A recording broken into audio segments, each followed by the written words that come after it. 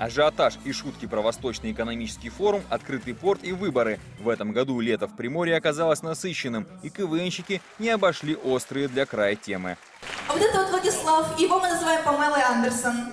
Потому что недавно был, он был на экономическом форуме, и вот что он там делал? Как он там оказался?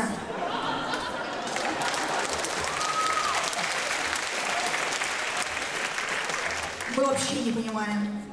Команды сыграли три конкурса – привычные приветствия и триатлон, а также абсолютно новый два в одном. Судьбу КВНщиков решало жюри, председателем которого стал Ефим Звеняцкий. Пять из семи команд прошли в полуфинальную игру. Многое получилось, но не все.